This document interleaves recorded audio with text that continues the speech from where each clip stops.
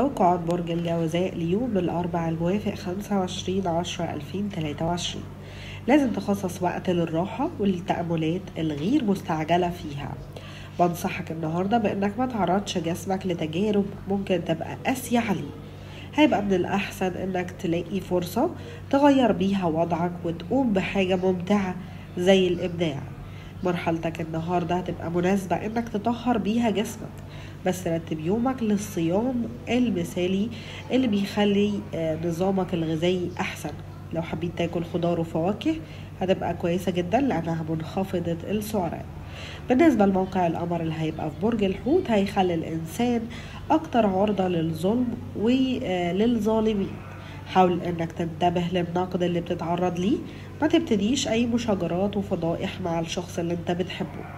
في بعض الأحيان ممكن يبقى مفيد إنك تعيش يوم واحد بس حتى لو كان كل الأشخاص اللي حواليك على خلاف بده.